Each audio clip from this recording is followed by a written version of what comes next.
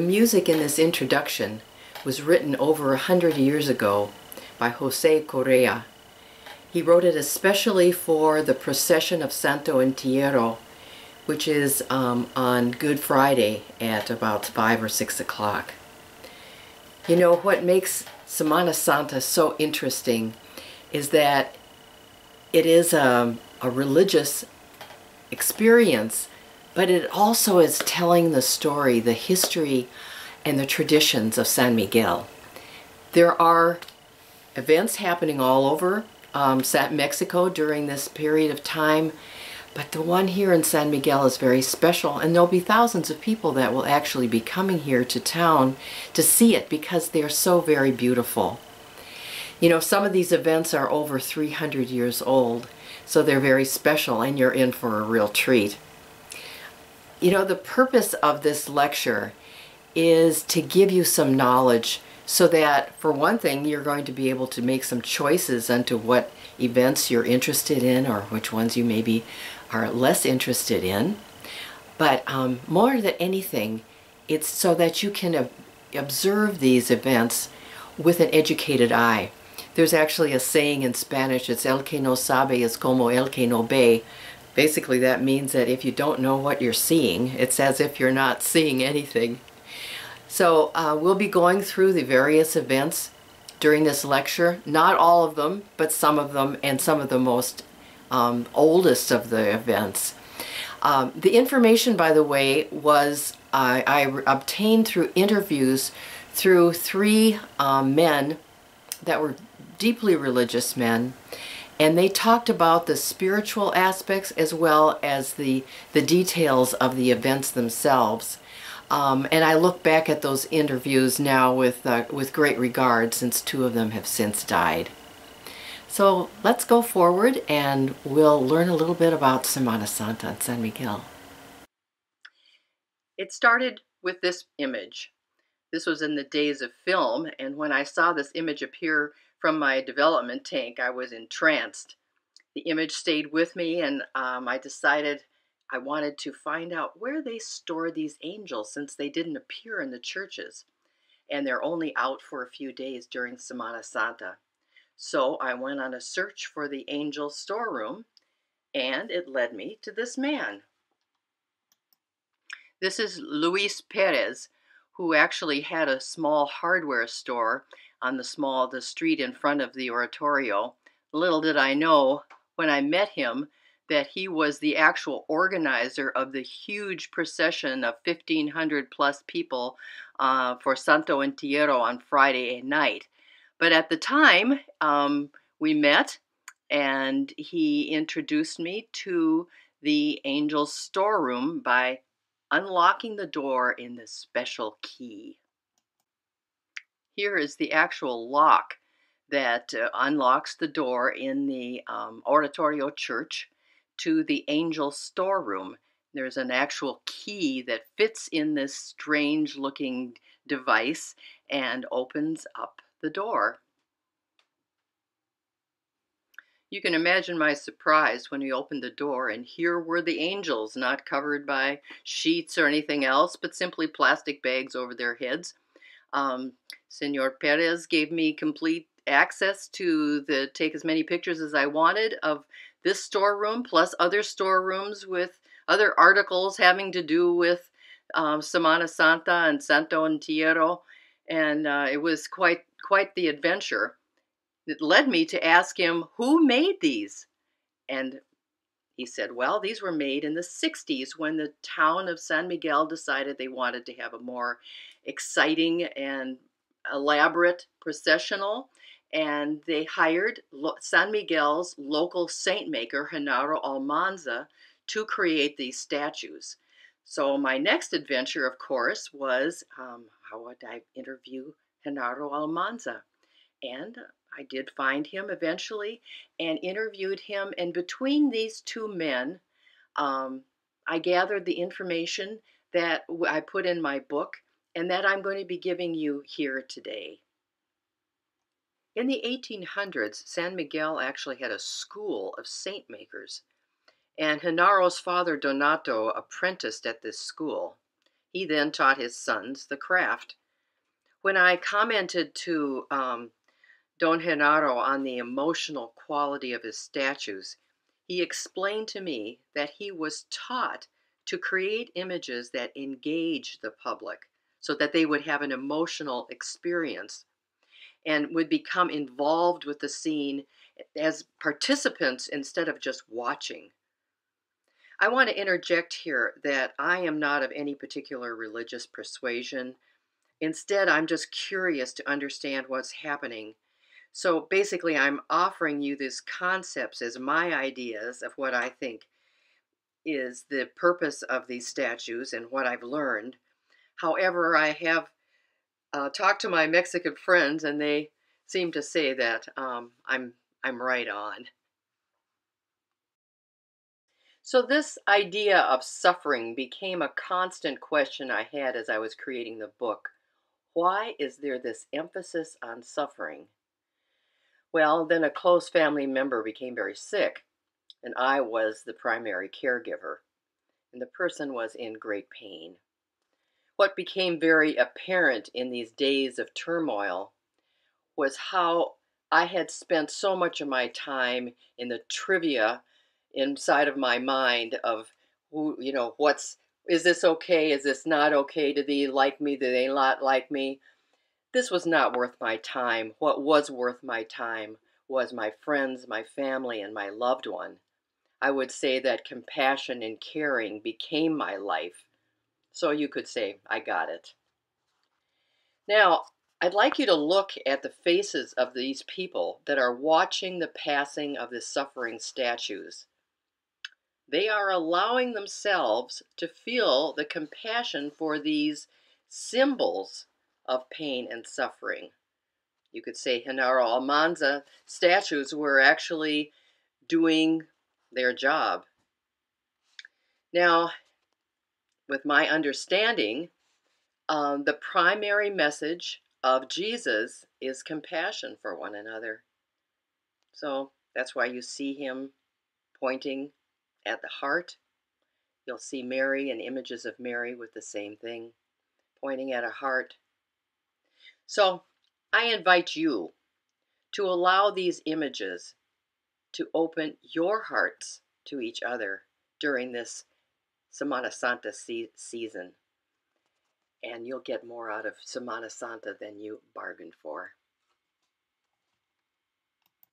The events of Semana Santa actually begin two weeks before Easter Sunday, and they begin in Atotonilco with the Entrada del Señor de la Columna. Um, Atotonilco is located, oh, about seven miles from San Miguel, and this amazing town is certainly worth a visit, but especially during Semana Santa because of the beginning of this procession that will take place on Saturday night.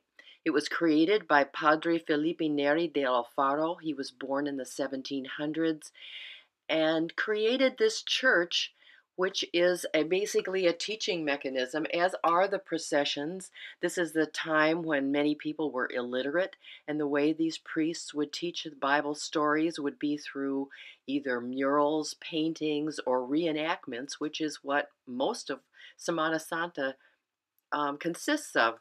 And we'll see here um, on the, the ceiling of the church, um, which, by the way, is all of the murals are specifically uh, about the days, the last days in the life of Jesus. Here we see Judas getting giving Jesus the kiss with the Roman soldiers to identify him um, as the one that they want to arrest.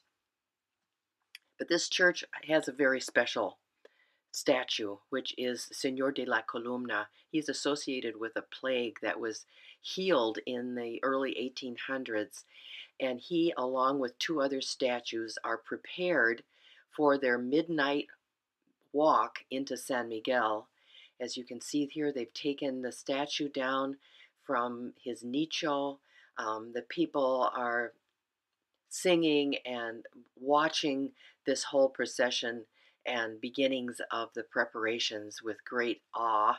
They cover the statues, the three of them, with silk scarves which um, the people have donated. And then they cover them with also these linen covers and bring them out at midnight. They have a mass and then they begin their all night walk into San Miguel. During this time, they'll be singing the whole way, and we'll see them. Um, they actually take quite a brisk walk as they bring the statues into San Miguel. In the meantime, the um, people of San Miguel are preparing the street of Independencia, where they will arrive at around um, five o'clock in the morning with with fireworks, and of course they'll be singing. The band is playing Christus Factus Est in preparation for the statues that are going to be coming down Independencia. This is the same music that we heard at the beginning of the slideshow. They prepared coffee and cinnamon tea for the pilgrims that have been walking all night, and everyone is craning to see the statues as they, they appear with their haunting robes. Of course, now at the top of Independencia, they'll be taking the robes off and preparing the statue for their trip down into San Miguel. By the way, the street is covered, I mean, is filled with, um, with pilgrims and people that are watching. Um, it is something to, to get up early for and see. And here we see the uh, disrobed statues as they are whisked down the street. At the same time, um, who ha- they have been doing this all night, is we hear the, the pilgrims that have walked and they've sung the whole way down um, down the, the trip from Atotonilco. And the whole procession ends at the church of, of San Juan de Dios, and that's where they will be um, for the next couple of weeks until they are finally returned to Atotonilco the Wednesday after Easter Sunday. The next event is El Viernes Dolores. Um, this is the Friday before Good Friday. It is actually my very favorite of the um, events that happen during Semana Santa, and it is to honor Mary in her grief. We will see that people are actually, as we see here, um, this beautiful statue of the grieving Mary. People open up their homes their driveways, their living rooms, and make altars within their homes and invite the public in to view them. Um, we'll see everything from these simple doorways, such as this, to more elaborate. Um, this is a whole living room that has sand paintings, and they have taken out all the furniture and made this beautiful um, altar to Mary um, we'll see things that are maybe more whimsical, which is this, um, and again, they're using statuary and pictures that are in their homes. Very simple house, but they've made this beautiful altar that they've used um, statues that maybe they've inherited from their grandparents. And then we see, um, this is at Senor Perez's house, these life size statues that are mobile and each year are slightly different. They put them in different positions, but uh, this is one of the most popular altars of the um, entire Viernes Dolores. And this, by the way, starts at around 6.30 or so, all to honor Mary in her grief.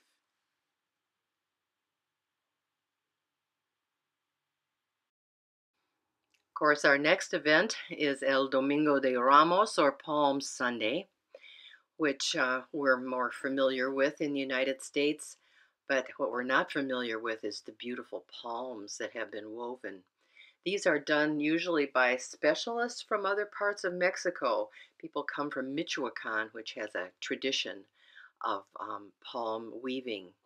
There'll be two processions. The first one starts on the street of San Francisco with Jesus coming in um, on a burro with Mary Magdalene. The second one is from Juarez Park, and you'll see, of course, the priests that will be blessing all the palms as the pilgrims walk down the street. We'll see the young and old, and it will end up at the uh, parroquia church where there'll be a mass and the statues will be waiting outside. There are many events going on. On Wednesday will be the procession of Golpe, which is basically the whipped Christ, and you'll see him going through the the streets, starting at actually at the oratorio, but he does go by the parroquia. But what is particularly beautiful um, with this procession are the altars that are made along the streets um, near the oratorio, and these are done by neighborhoods, and you'll see them in the afternoon on Wednesday decorating them. There'll be um, many children and women that will bring objects of the crucifixion through the streets as well. This is followed up then on Thursday night for the night of the altars. And here the, the idea is to visit seven churches so that you'll have luck through the year. And each of the churches have beautiful um, altars that have been decorated especially for this um, event, and you'll see people lining up uh, they'll buy various objects that have to do with um, with the Easter season. We are now Good Friday, and this has two major processions. I recommend that you do them both. This one starts at around 11 o'clock. Get there a little early, half an hour.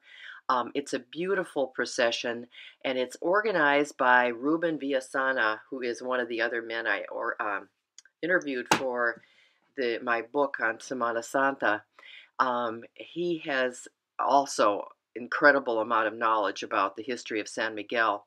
Starts with Pontius Pilate and the judging of Jesus, and then it begins from the uh, Santo Escuela Church, which is San Rafael next to the parroquia, with the priest going through the streets taking the part of Jesus. Following him are the penitents with um, hair shirts and crowns of thorns. Of course, the children will be singing Christus Factus Est. Um, it's a pretty amazing procession, and it has this one particular statue, which is a really important statue to know about because of what he's associated with and what he actually does. This particular statue is Ecce Homo, or the Judge Jesus, but he is also known as the Rain God. He will be traveling through all these different churches, which is on this poster, to help bring on the rains.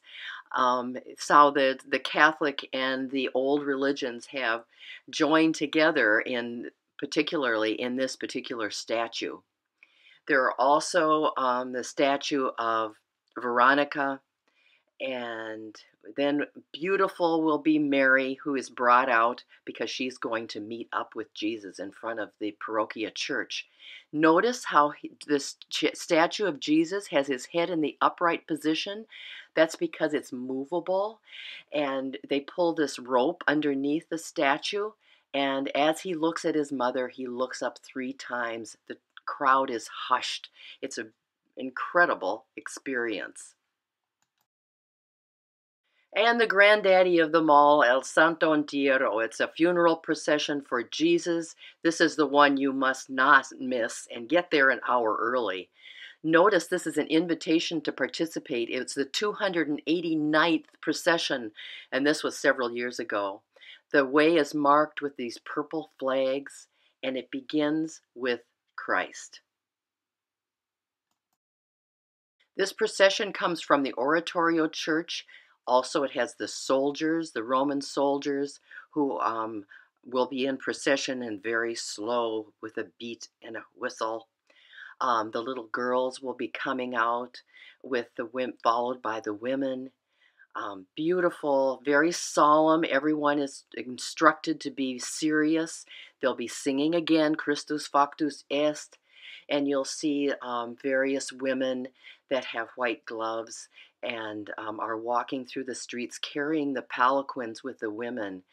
Um, talk about penitence. Try walking through the streets of San Miguel with these shoes on. And you'll see, of course, these beautiful statues um, of the angels. And this is the stop and go light of the procession. One side is purple, the other side is white because this is the day before cell phones. So, in order to tell the procession when to stop and when to go, they would turn these candelabras to know let and it's they're throughout the procession.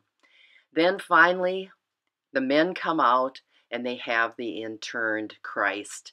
These are some of the most important and oldest families in San Miguel that are represented here that are carrying the entombed Jesus.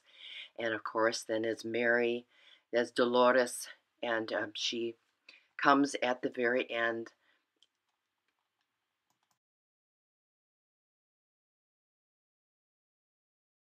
Saturday, we have the Procession of Soledad on Saturday evening, um, which is a beautiful small procession, only goes around one block.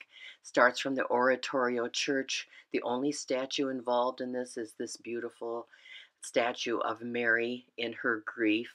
Um, lots of women do this. It uh, has a candlelit mass beforehand. And then on Sunday morning, we'll see with the sunrise, um, all the churches and the altars will have the risen Christ statue that will be presented. But at noon, which is interesting, we have a little um, break uh, because it's time to blow up Judas. So we'll have these paper mache statues that they will be hanging um, right at the far end of the Jardín, and you'll see they have uh, various political figures sometimes are represented here, and these paper mache statues are lit on fire and then they blow up. And of course, um, the kids then will run in and get various parts as good luck. Should you want to know more details, you'll find these posters are on the outside of most of the churches that will give you the details on when and where various major processions are held. So this has been our very brief but overview of the amazing events that are going to be happening during Semana Santa. I hope this has been helpful for you. Gives you a, just a vague overview of what's going on. Certainly look keep checking out the churches. There's preparations that are happening all week before Semana Santa. And if you'd like to read more, you're welcome to get my book, Tears from the Crown of Thorns. It's for sale in the back. Thank you so much for coming and enjoy this time.